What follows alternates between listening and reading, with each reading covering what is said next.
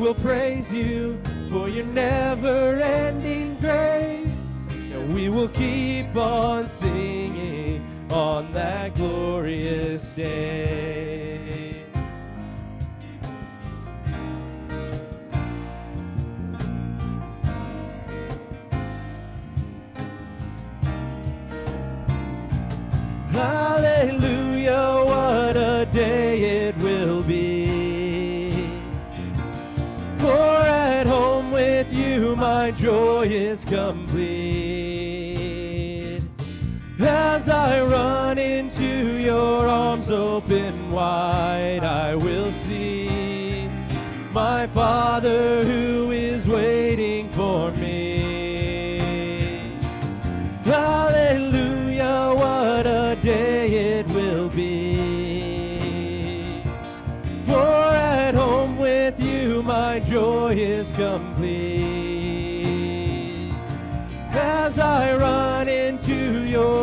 arms open wide, I will see my Father who is waiting for me. My Father who is waiting for me. On that day, we will see you shining brighter than the sun. On that day, we will know you as we lift our voice as one. Till that day, we will praise you for your never ending grace. And we will keep on singing on that glorious day. On that day, we will see you shining brighter than the sun.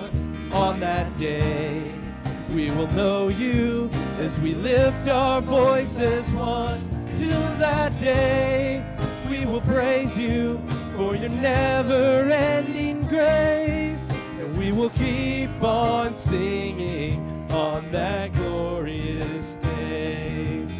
We will keep on singing on that glorious day.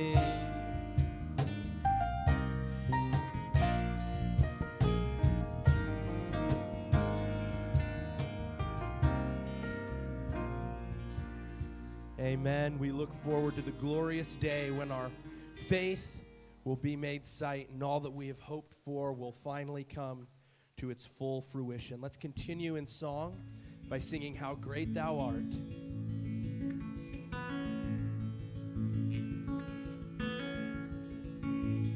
O Lord my God. When I in awesome wonder consider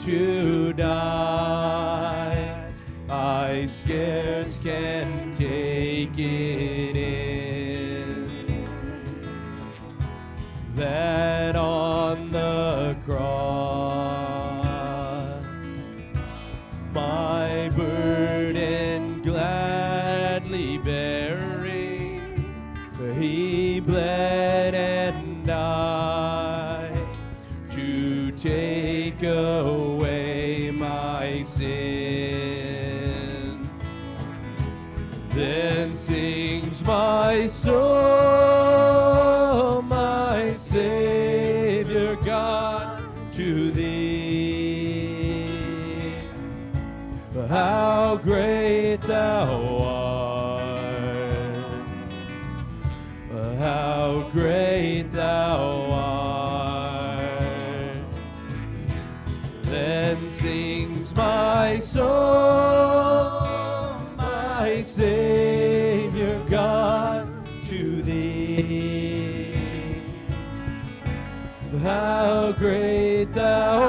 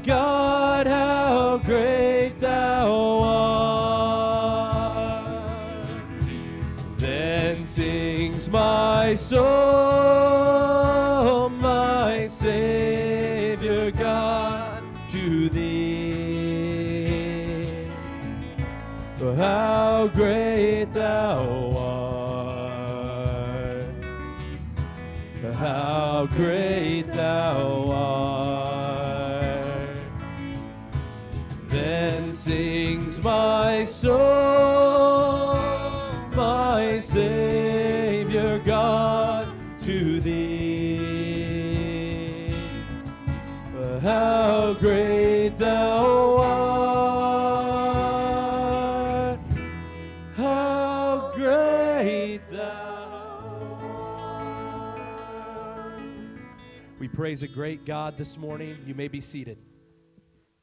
Hey, happy Thanksgiving, everyone.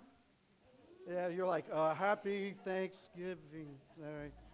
It is, uh, it is great to have all of you here today as we worship together. And our God's a great God.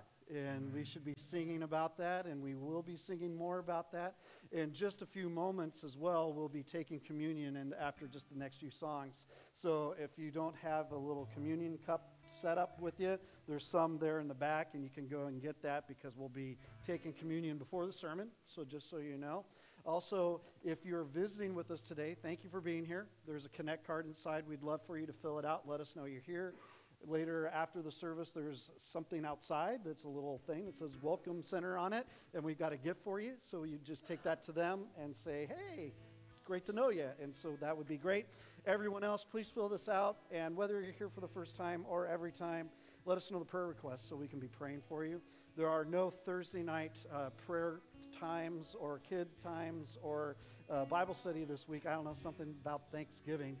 And uh, so we're taking this Thursday off, and we'll be back next Thursday. A few other things. We've got a book that we have uh, for every family here today, and uh, it'll be available as you leave. It is a it is a 25 day Advent devotion book. And so you start up Nove- or November 1st, December 1st, and go through the 25th, and we've got one per family. And uh, we've uh, got those for you, so those will be available. Sign up list for potluck is there. Our uh, little uh, circle card, invite cards for Christmas Eve Eve and Christmas Day. Those are available as well in the back. So, a lot of great things going on. Let's stand together right now as we prepare our hearts for the reading of God's Word. Our scripture reading is inside our bulletin there at the top left. It comes from Hebrews chapter 6, verses 1 through 3. Let's read God's word aloud together this morning. Therefore, leaving the elementary teaching about the Christ, let us press on to maturity, not laying again a foundation of repentance from dead works and of faith toward God, of instruction about washings and laying on of hands, and the resurrection of the dead, and eternal judgment. And this we will do if God permits. So reads the word of the true and living God. Let's pray and ask for his blessing on our time of worship together this morning.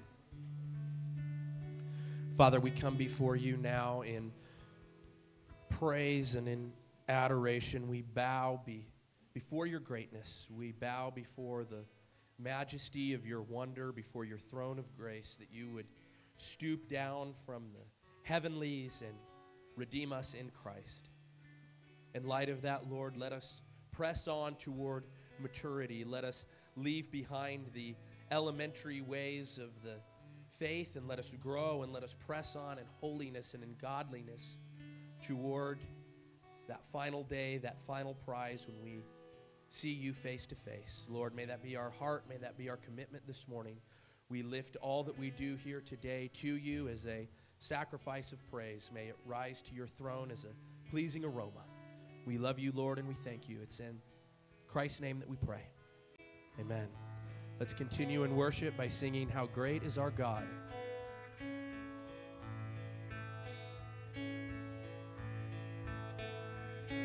The splendor of the King, clothed in majesty, let all the earth rejoice, all the earth rejoice. He wraps himself in light, and darkness tries to hide and trembles at his voice, and trembles at his voice. How great our God! Sing with me, how great is our God! And all will see how great, how great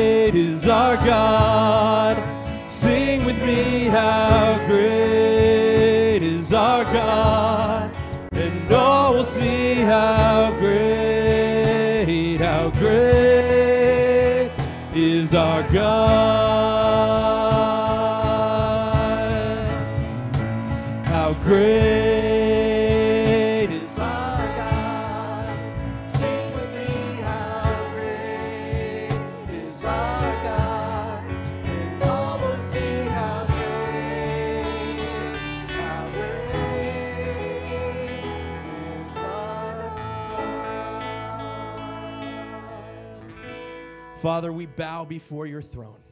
We bow before your greatness. May we sing your name all our days. And Lord, as we sing, we want to know you. As we look to your word, we want to know you. As we pray, we want to know you. That is our prayer, that is our heart's desire. Shine the light of Christ into our hearts now.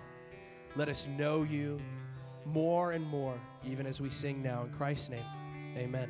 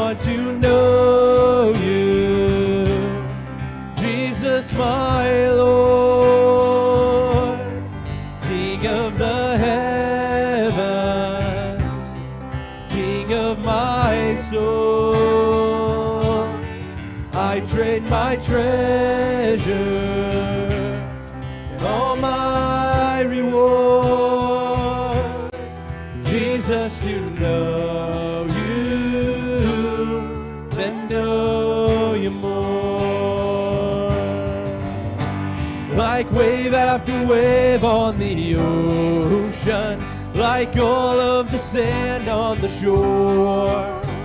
Your beauty and glory are endless. Oh Jesus, I must know you more. Like wave after wave on the ocean, like all of the sand on the shore. Your beauty and glory are endless. Know you more.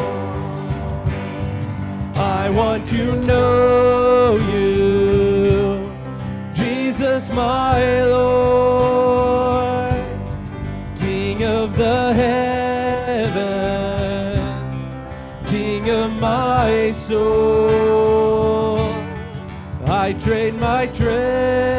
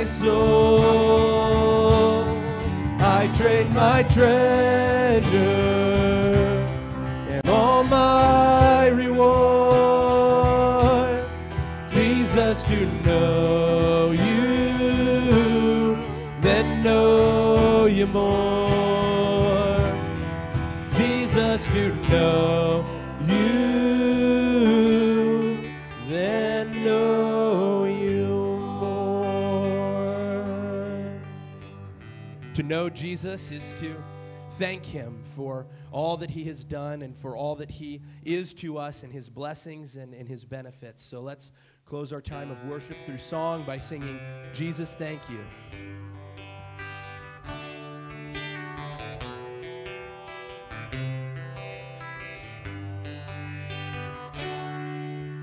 The mystery of the cross I cannot comprehend. The agonies of Calvary. You, the perfect Holy One, crushed your Son. Drank the bitter cup reserved for me. Your blood has washed away my sin. Jesus, thank you. The Father's wrath completely satisfied. Jesus, thank you. Once your enemy, now seated at your table. Jesus, thank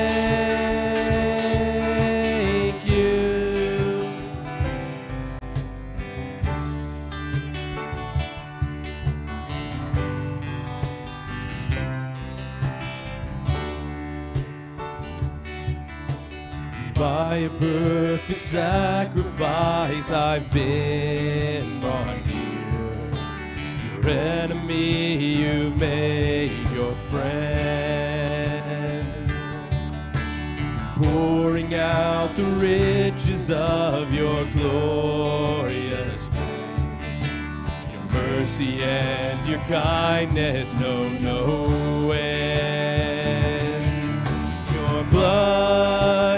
washed away my sin. Jesus, thank you. The Father's wrath completely satisfied. Jesus, thank you. Once your enemy, now seated at your table. Jesus, thank you lover of soul. I want to live for you, lover of my soul. I want to live for you, lover.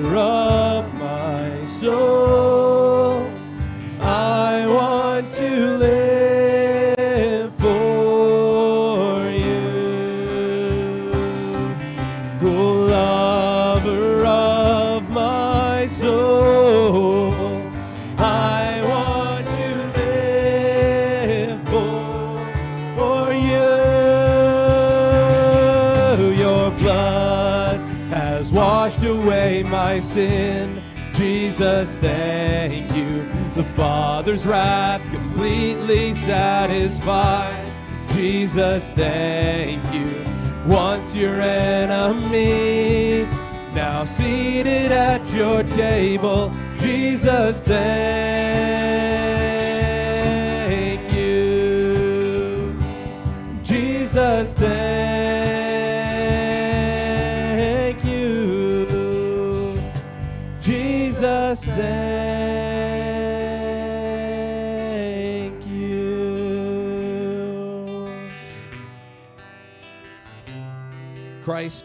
Savior and our Shepherd, we thank you for all that you are to us, for all that you are for us by faith. We trust in you now. We thank you now. It's in your name that we offer this prayer to the Father. Amen. You may be seated.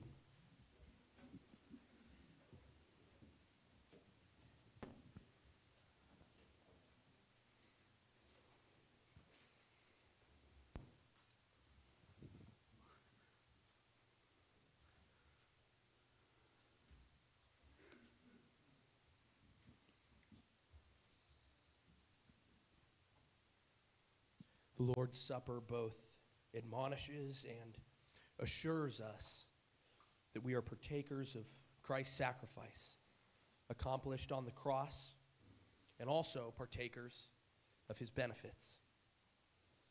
We have this assurance by Christ's command to us and to all believers to eat of this broken bread and to drink of this cup in remembrance of him we also have these promises. First, that his body was offered and broken on the cross for us, his blood shed for us. As certainly as we see with our eyes the bread of the Lord broken for us, and as we taste the cup communicated to us.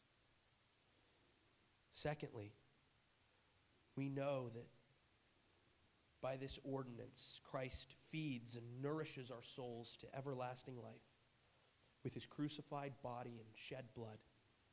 As assuredly as we receive from our hands and taste with our mouths the bread and cup of the Lord, we have these certain signs of the body and blood of Christ.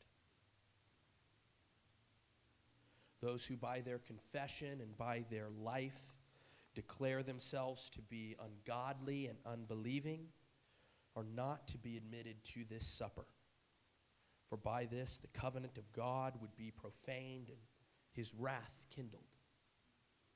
Therefore, it is our duty to examine ourselves and to hold one another to account, lest we partake of this supper in an unworthy manner. Let us take a few moments now silently to prepare to come to this supper in a worthy manner.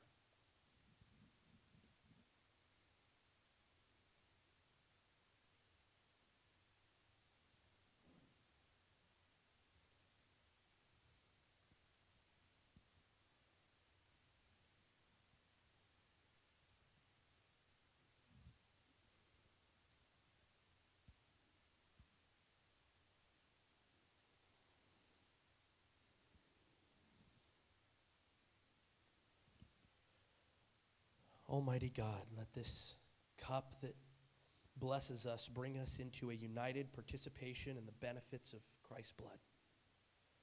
Let this bread which we break bring us into a united participation in the benefits of Christ's body. By this Thanksgiving celebration, let us continually proclaim the Lord. until he comes. It's in his name that we pray. Amen. Apostle Paul writes, I received from the Lord that which I also delivered to you, that the Lord Jesus, in the night in which he was betrayed, took bread. And when he had given thanks, he broke it, and he said, This is my body, which is for you. Do this in remembrance of me. Let's remember our Lord together.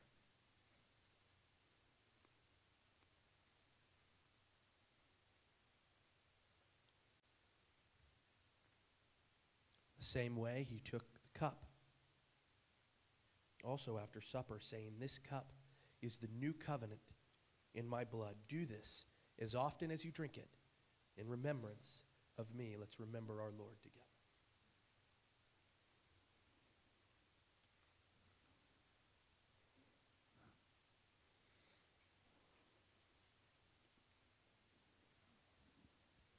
Father, Son, and Spirit. May this meal impress upon our hearts the beauty and glory of our union with you, the triune God, through the Son.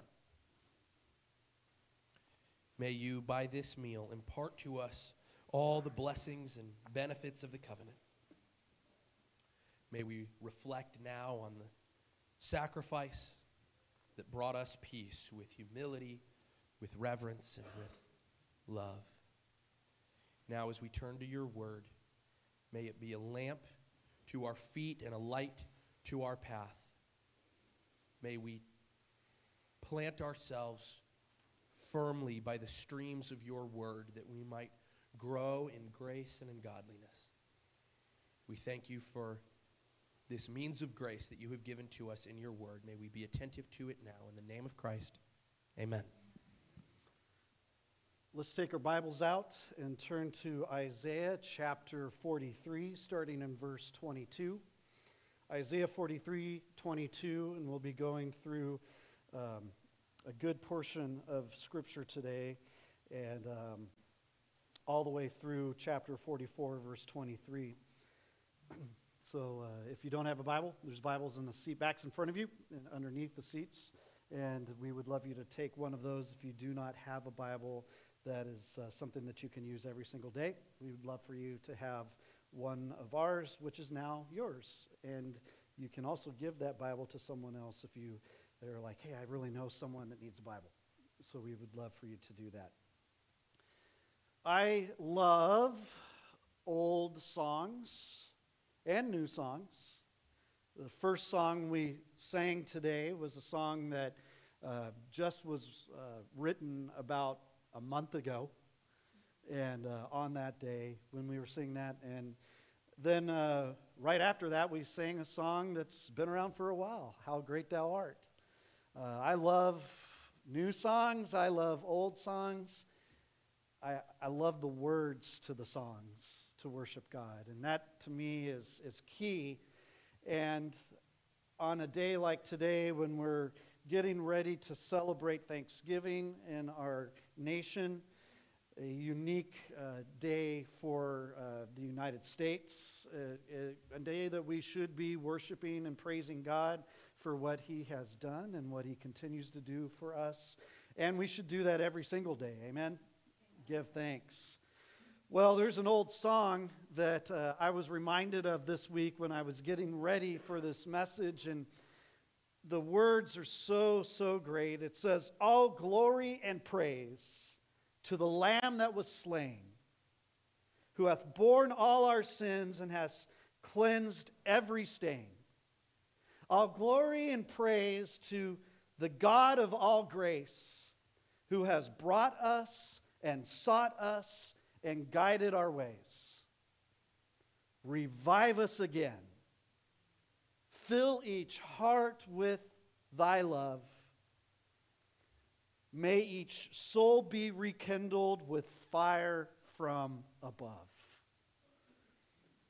Last week, if you were with us, Isaiah had shown us the way to reformation as God realigns us with his purpose.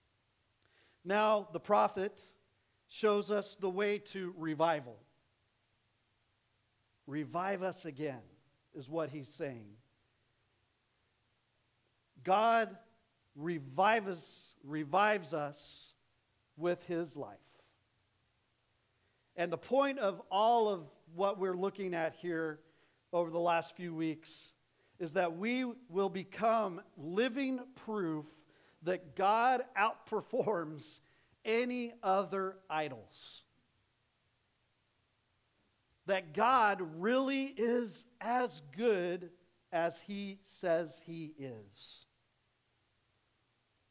Let's dive right in into verse 22 of chapter 43.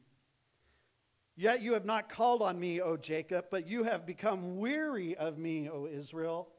You have not brought to me the sheep of your burnt offerings, nor have you honored me with your sacrifices. I have not burdened you with offerings, nor wearied you with incense. You have brought me not sweet cane with money, nor have you filled me with the fat of your sacrifices. Rather, you have burdened me with your sins. You have wearied me with your iniquities. I, even I, am the one who wipes out your transgressions for my own sake, and I will not remember your sins. Put me in remembrance. Let us argue our case together. State your case that you may be proved right. Your first forefathers sinned, and your spokesmen have transgressed against me. So I will pollute the princesses of the sanctuary, and I will consign Jacob to the ban and Israel to revilement. And you may be going, I have no clue what that's about. Well, God is saying something very specific here. He's not saying that his people were not worshiping, he's saying that their worship really wasn't about him. He was saying that the very sacrifices that they were bringing, far from removing sin, really, were themselves sins and iniquities. Because God searches the inner reality of our worship, of their worship. What did he find there? We see that word weary. Weariness. And I just want everyone to know you may be feeling weary this morning, and that's a different type of weariness. That's sleepiness. Okay, get rid of that. The weariness here is a misunderstanding and a miscalculation of who God is.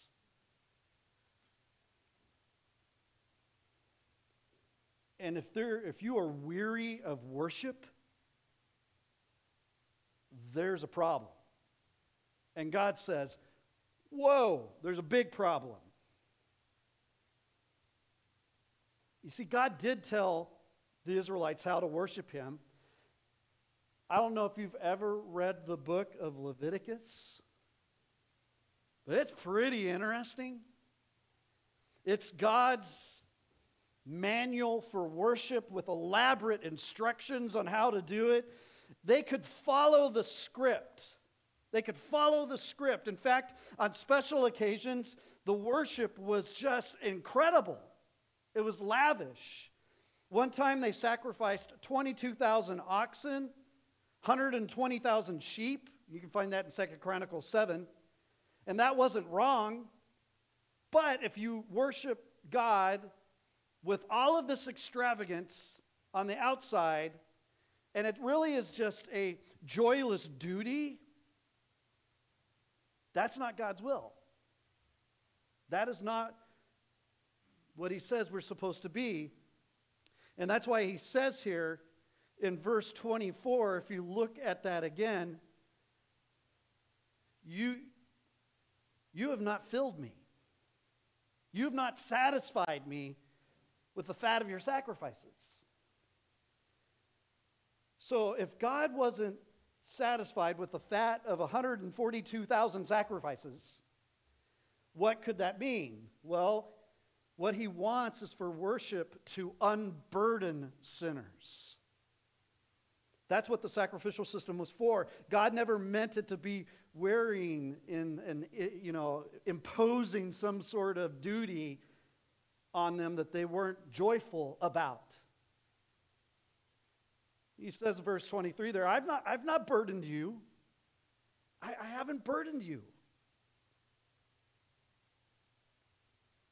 But throughout Israel's history, they treated worship as a mechanism for controlling God, putting God in their debt. And naturally enough, it became wearisome. Whoa, you know, they're just kind of walking through the motions. I'm going to pause for a moment and say, I had fun worshiping with you over the last five songs this morning. I'm back there, and generally all I hear is Siva. God bless him. His monitor's so loud. But I will tell you, I, I heard you guys this morning.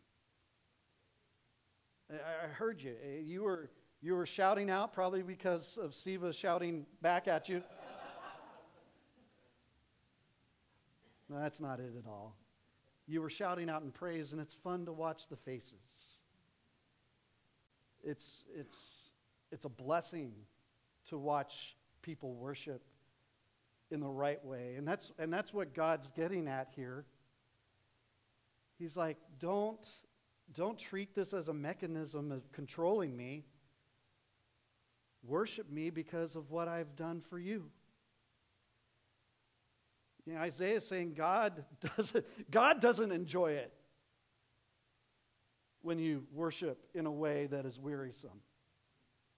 I mean, you really get the sense here that God goes, Oh, be quiet, please. La, la, la, la, la, la, la.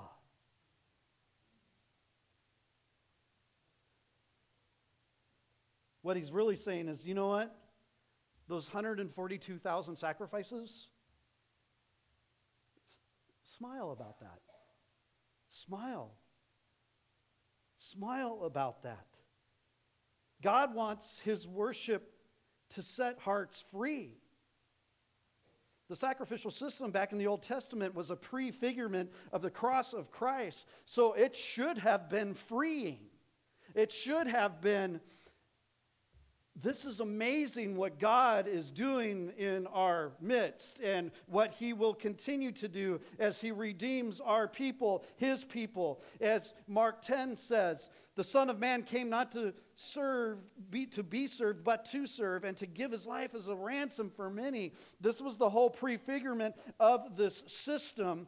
And we were learning how to worship back then, and we worship now.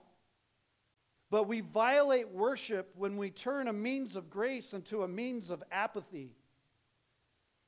When we enter into true worship when our hearts are revived through the finished work of Christ on the cross, that should be amazing. As the Bible says, we cast all our cares on Him. That's what He wants us to do. That's the kind of worship that pleases God. He is our burden bearer. And you would think that a God that has given so much grace would be irresistible. But here's the problem, and I think everyone in the room knows that in our sinful, yucky selves, we long to save ourselves. We want, with a compulsive craving, really, to deserve the good we get. That's why we say things like, well, I'm better than that person. I deserve better because I'm better. And we drag that way of thinking into our relationship with God. We give to God in order to get. And our natural drift is to worship God not to unburden ourselves, but to obligate Him. That's what Isaiah is getting at. And that denies the very being of God. If you re look at verses 25 through 28, God locates his very identity in blotting out our sins and remembering them no more. He's, he's like, that's, that's who I am, that's what I do. And Satan comes along, the accuser, right? Satan comes along, kind of comes before God and says, Look at that Christian down there. Why do you still love him? Don't you remember what he did to you last week? Again on Tuesday, then again yesterday. And God says, and let me, this is obviously me telling a story, so let me paraphrase it this way. God says, eh, I, I don't remember. Hey, Gabriel, where does that believer stand with us? Check the database. Check that book. Gabriel logs in. Only info that it comes up on the screen is the righteousness of Christ. Credited to that sinner. Because that's how God honors himself. What does he say? I blot out your transgressions.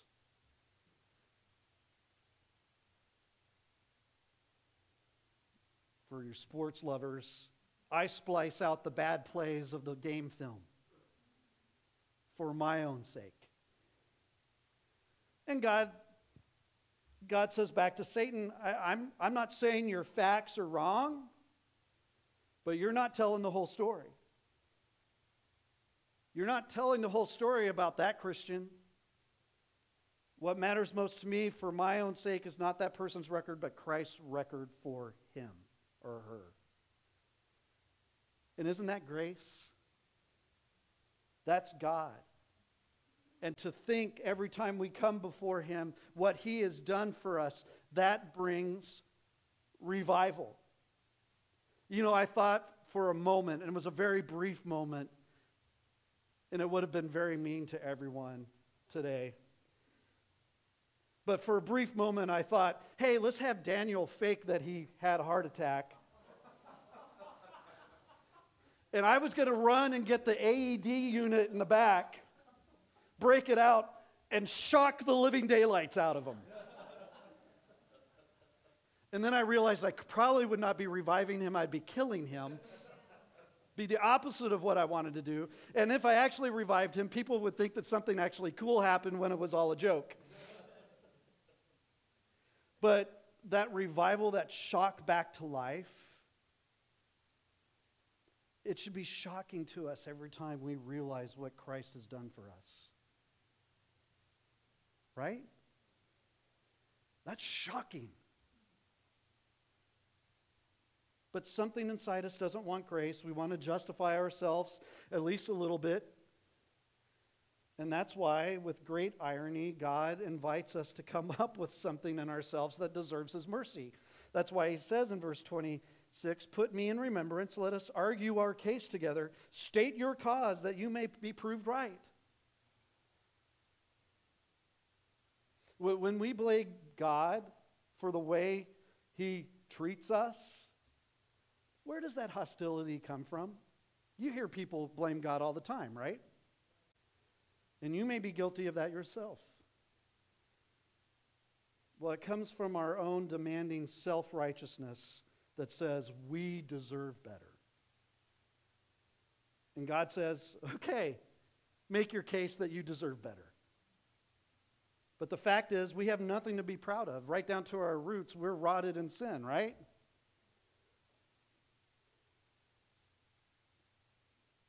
My daughter, oldest daughter, was talking to a lady at a gift store in Hawaii yesterday, or the day before.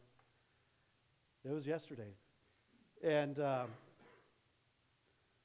she started talking about God to her and, you know, what do you believe about God or, you know, Jesus and would you come to my church and love to, oh, I don't go to church and, well, what do you believe about God? Well, I, I, I you know, I believe that, uh, that I'm God and that you're God. And uh, that's common. And then I love Kaylee says,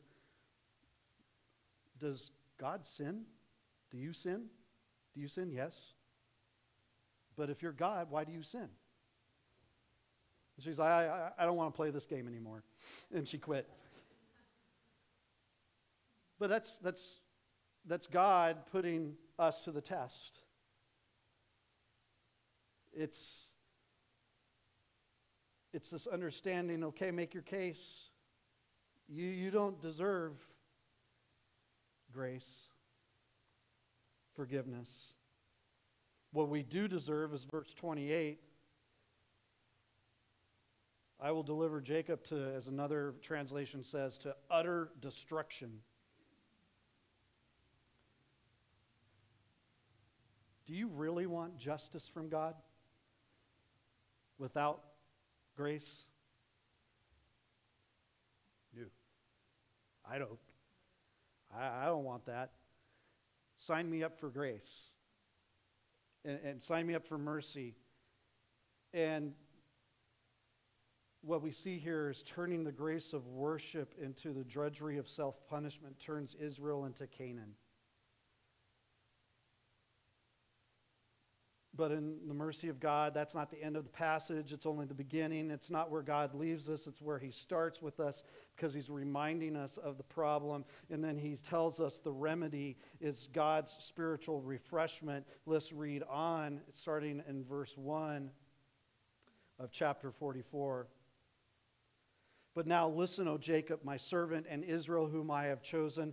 Thus says the Lord, who made you and formed you from the womb, who will help you. Do not fear, O Jacob, my servant, and you, Jeshurun, whom I have chosen, for I will pour out water on the thirsty land and streams on the dry ground. I will pour out my spirit on your offspring and my blessing on your descendants, and they will spring up among the grass like poplars by the stream of water. This one will say, I am the Lord's, and this one will call on the name of Jacob, and another one will write on his hand, belonging to the Lord, and will name Israel's name with honor.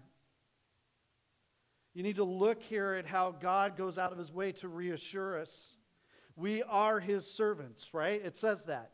We, he chose us. He made us. He formed us. He will help us. It's all of His grace. God doesn't want us to be insecure in Him. His remedy for our violations of His grace is what? More grace. He wants us to know that. Our sins do not discredit us and do not free God of an obligation to us. We can demand nothing of Him, but that doesn't mean God quits on us. What does He do? He says, I will pour. I will pour. I will pour water on the thirsty land, streams on the dry ground. I will pour my spirit upon your offering, my blessing on your descendants. It's the way of God to come down to us, even us, with his presence, so that we burst into life. He is promising to pour himself out with such generosity that we become, as one author puts it, a people saturated with God. I love that picture. Who are you, Scott? I am a Christian. I am a believer. I'm a person saturated with the grace of God. So the question then becomes Are you sitting here today and are you thirsty and dry? Are you thirsty and dry? God has a special tenderness for that. Jesus said, If anyone thirsts, let him come to me and drink. Right? John 7, verse 37. What he has for you as a believer is full satisfaction, but it only comes from him.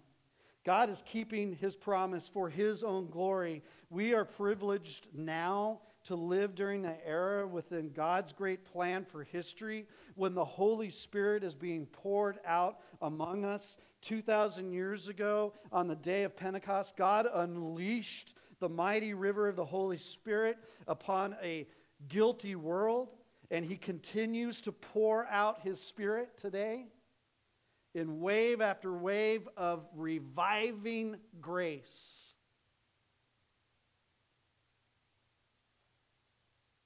And every once in a while, that kind of, you have an ebb and flow of that in your life. You feel that. You feel that dryness sometimes, but you know what's going to come? That grace. Spirit saying, no, no, no, no, no, Scott. Remember who you belong to. remember who bought you. Remember who called you.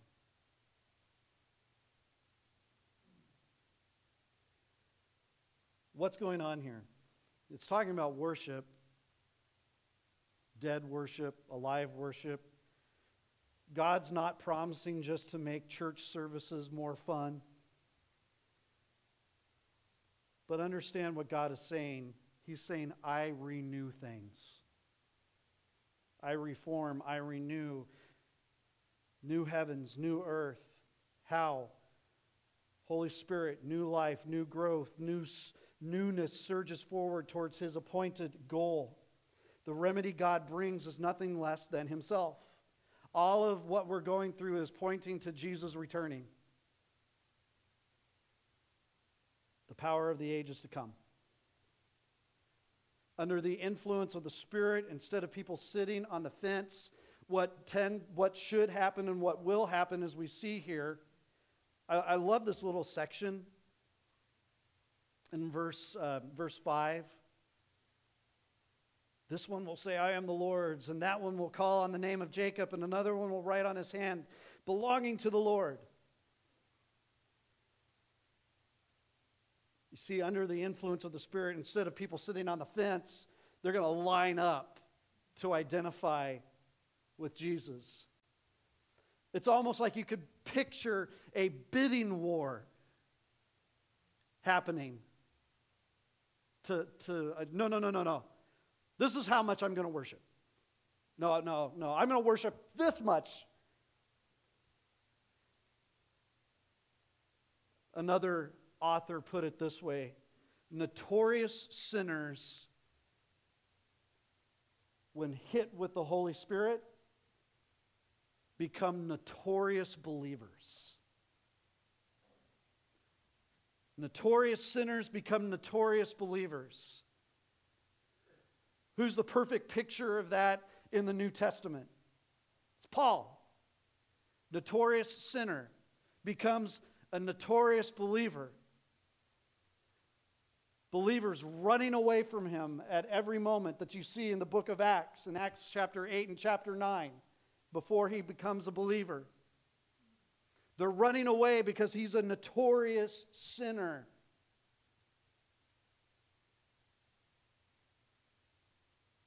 and then everything changes.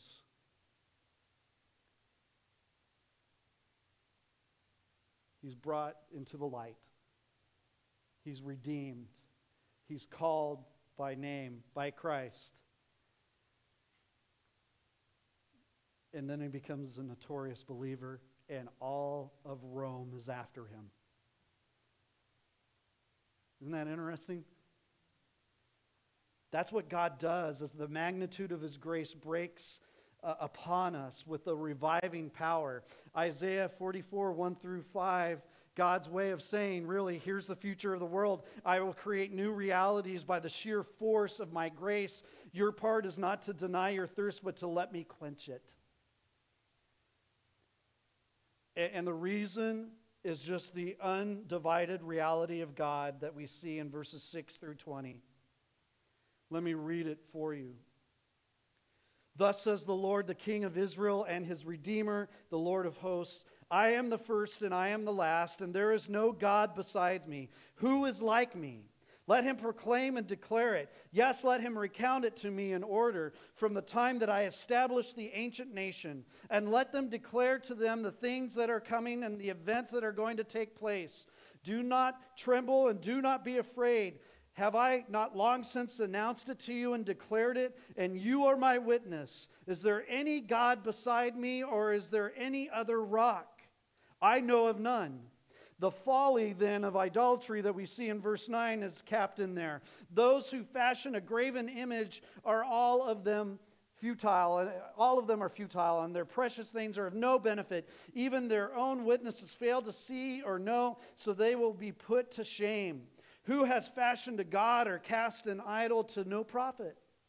Behold, all his companions will be put to shame, for the craftsmen themselves are mere men. Let them all assemble themselves. Let them stand up. Let them tremble. Let them together be put to shame. The man shapes iron into a cutting tool and does his work over the coals, fashioning it with hammers and working it with his strong arm. He also gets hungry and his strength fails. He drinks no water and becomes weary. Another shapes wood. He extends a measuring line. He outlines it with red chalk. He works with planes and outlines it with a compass and makes it like the form of a man, like the beauty of a man, so that it may sit in a house. Surely he cuts cedars for himself and takes a cypress or an oak and raises it for himself among the trees of the forest. He plants a fir and the rain makes it grow. Then it becomes something for a man to burn, so he takes one of them and warms himself. He also makes fire to bake bread. He also makes a god and worships it. He makes it a graven image and falls down before it.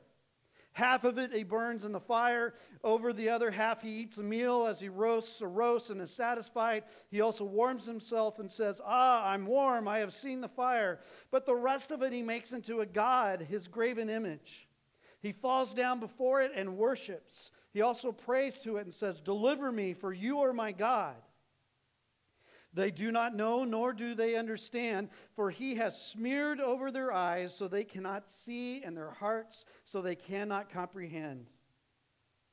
No one recalls, nor is there knowledge or understanding to say, I have burned half of it in the fire and also baked bread over its coals. I roast meat and eat it. Then I make the rest of it into an abomination. I fall down before a block of wood. He feeds on ashes. A deceived heart has turned him aside, and he cannot deliver himself nor say, Is there not a lie in my right hand? This is a really interesting section of Scripture. The reason God gives himself to us so much is to prove that he is God, right?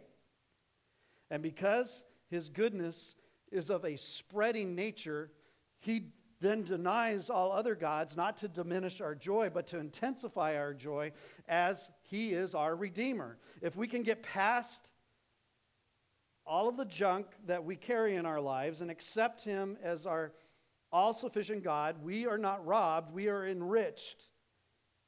He gets the glory, we taste the glory. Jesus describes the ultimate human experience this way enter into the joy of your master. Matthew 25. The exclusive reality of God is an offense to a pluralistic culture today. You walk around and you say, There's one God, only one way to God, and that's through Jesus Christ. Everyone will go, But you need to understand that's always been a stumbling block. Scripture says that. Why? Because in our sinful nature, we want free range. It's stubborn insistence to be free to do what we want to do. Then you have the stubborn insistence of the prophets that there's only one Savior. And that just doesn't go away. They're very stubborn about it all through Scripture. And that's because He does not go away. In every single generation, God pours out the reality of himself upon idolaters who get thirsty enough to give him ear to hear. Our role then is to be a fearless witness, as it says there, living proof that God alone is enough to satisfy thirsty people. And that is the meaning of our lives. That is the church's mission in the world are you not my witness? I mean, if I had time and if I wanted to drill this down really, really specifically, we'd, we'd start over here and we would tell every person and say every person's name one by one and say, Are you his witness? And you're like, Oh and Man, I hope the answer is yes.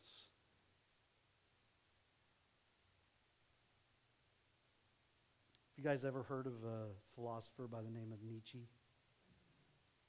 Terrible person. He one time was asked why he rejected Christianity. And amongst a lot of different things he said, one thing that's interesting, remember it says that we are his witnesses. One of the things he said is, I never saw the members of my father's church enjoying themselves. And what really what that means is they I mean his eyes as we see in this section of scripture, his eyes were smeared clothes and clouded and, and all of that. But the truth is, who should be the most joyful people on the planet? The redeemed. The redeemed of the Lord say so. The redeemed. That's the meaning of our lives. The flip side in verses 9 through 20 there is Isaiah really mocks just how weird it is to believe in idols. And, and I, I love that section of Scripture because you have to, you have to really dive down into it. And, and it's so alive to what people do today. You know, it, it's like, hold it. You, you cut down a tree, there's nothing wrong with that. God gave us trees to use and steward, right? And we build our homes out of that. We do all of that. The man warms himself with a fire from the wood. No problem with that.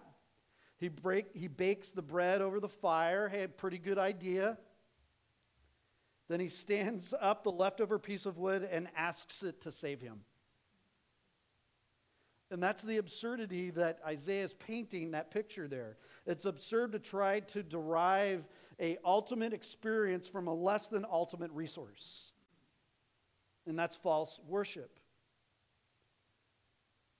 Think about it. If, if there's only one God, and if we are not experiencing his reviving fullness, there's a reason. The reason is idols are clogging the inflow of his refreshment we're setting up idols in our house that block us from worshiping God. And God is forcing the reality then of the idols in our lives. The Jewish people were sent into exile into Babylon. What happened then, he's like, okay, if you don't want to worship me, I will send you to a place and you will find out what it really looks like to see people worship something completely different. As they entered Babylon through the Ishtar gate and walked into the great processional way, every step they took would have been on slabs of imported limestone, each one three and a half feet square, and along the edge of each slab was inscribed to the honor of Marduk the, the patron god of the city. Everywhere they stepped in captivity would have said to the honor, honor of Marduk, to the honor of Marduk. In fact, the name Babylon, Babalu means gate of gods. Babylon was the way to heaven on earth. It was the meaning of their culture. It's the meaning of our culture. And the message for us today, as it was for them hey, everyone, be careful. Because God, for so many of you, God is not your life. He may have a place in it. You may kind of put him along. Well, I'm a God. You're a God. He may be a God. He may have started something. But that's not it's not truth. It's not who God is. It's relying on yourself. It's relying on the leftovers of what that piece of wood in the stove, next to the stove. I, I, I love that picture. You cook with it, you build with it, and then you worship it. It's absurd to try to worship once again something that's less than ultimate.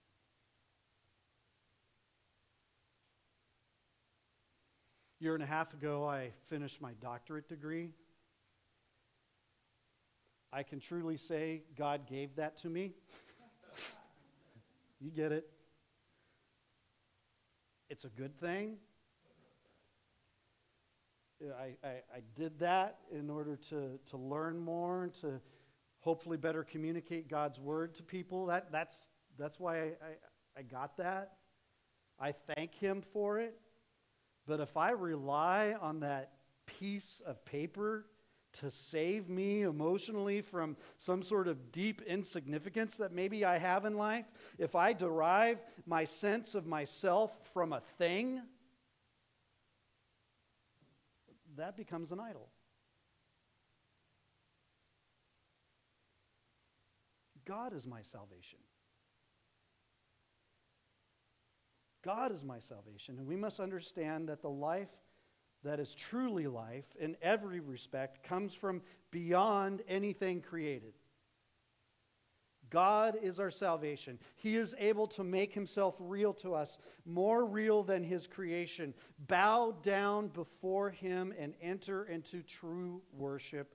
And this is how, as we see the outcome of all of this in the final three verses that we'll look at this morning. Starting in verse 21. Remember these things, O Jacob and Israel, for you are my servant I have formed you, you are my servant. O Israel, you will not be forgotten by me. I have wiped out your transgressions like a thick cloud and your sins like a heavy mist. Return to me, for I have redeemed you. Shout for joy, O heavens, for the Lord has done it. Shout joyfully, you lower parts of the earth. Break forth into a shout of joy, you mountains, O forest, and every tree in it. For the Lord has redeemed Jacob, and in Israel he shows forth his glory. I want you to picture right now, if you can, the magnitude of the gospel. We're entering into the Christmas season where we tell the story of Christ's birth. And it was a glorious day angels singing, scaring the living daylights out of the shepherds, letting them know of this magnificent culmination of everything that had gone on before, zeroing in to Christ coming and what was going to then happen within the next 33 years.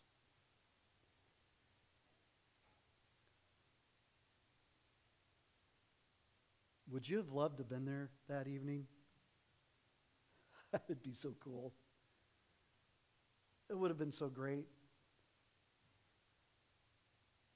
But the truth is, is we're on this side of that story, and we have the full, complete story of what has happened, how God has worked over the last 2,000 years. We have the future story that is still out in front of us. And when I look at the total, the totality of Scripture, I look at the magnitude of the gospel. What God has promised goes so far beyond what we can ask or think or imagine. Our part right now is to remember that God alone is the Redeemer our part is to return to Him and shout and praise. Let go of your idols. Launch out into God alone. The life that you most deeply long for comes only from God in Jesus Christ through the outpouring of the Holy Spirit. You don't deserve it. You don't deserve it. I don't deserve it. He pours it out freely into the empty hands of faith. And that's the way to revival. You've got to lose yourself in order to gain Him. And He's worth it. He gives Himself to sinners with overflowing salvation.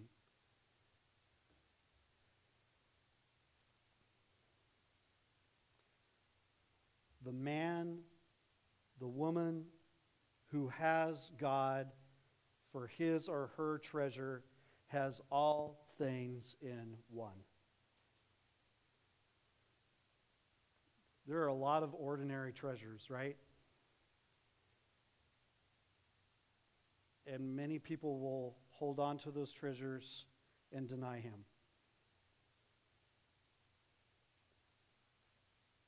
What we need to do is let those treasures go. Those man made, impartially completed, non ultimate sourced treasures.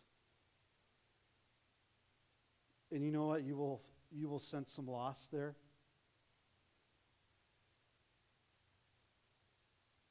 But to have the source of all things in one in your life, all satisfaction is now wrapped into that. There have been times when you read a, a, portion of you know, some of the ma- martyrs in, in, the Puritan time frame and you know, people that just were tortured in incredibly awful ways.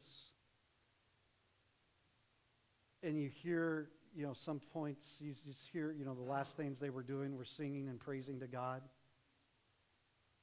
How, how were they able to do that?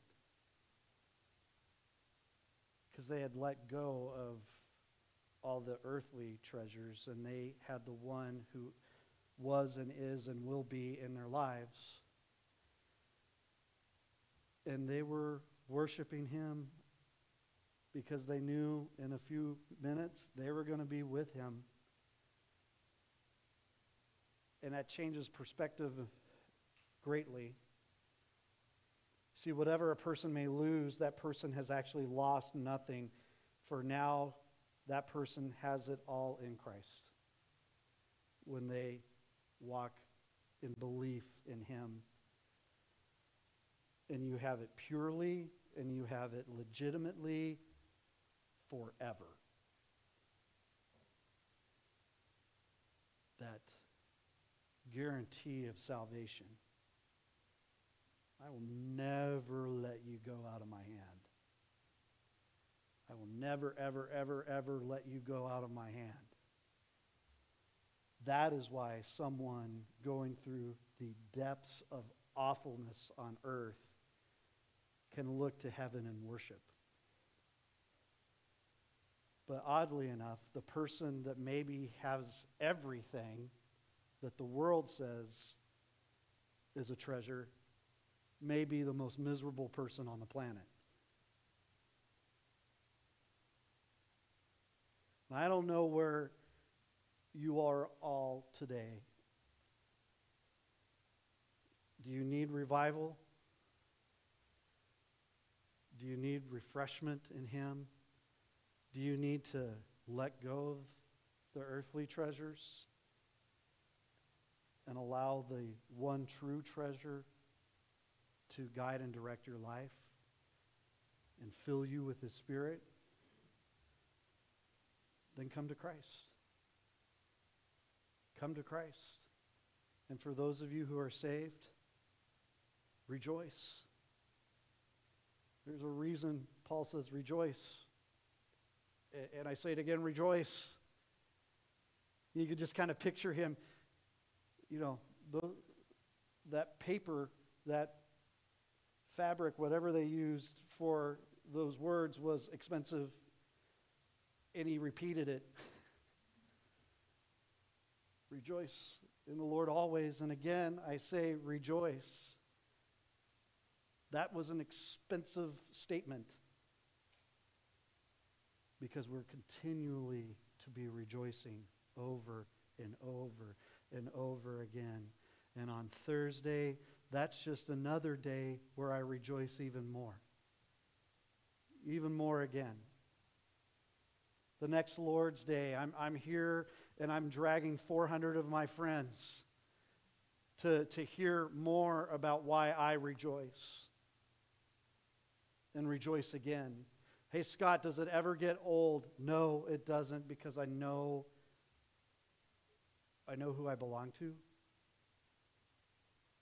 I know what he's actually done for me.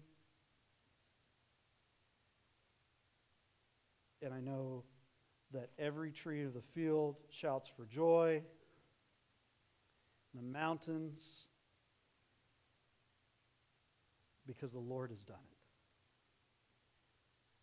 I didn't save myself, the Lord saved me. And because I know that's true, I'm His forever. You're His forever. So give thanks and rejoice. Amen? Let's stand together as we close. encourage you to stay for a few moments uh, afterwards. Love to just have everyone talk and share what's going on in life. And if you need to pray with someone, we'll have people around, and we would love to pray with you. And um, the offering box is there in the back for offerings, and um, just just rejoice. Amen. Rejoice. Lord, we thank you for this day. We thank you for this opportunity to open your word. to remember what it means to be revived by you. Lord, may we have that revival every single day. By the joy of your grace, we have life. Thank you. And it's in Jesus' name we pray. Amen. Happy Thanksgiving, everyone. We'll see you around.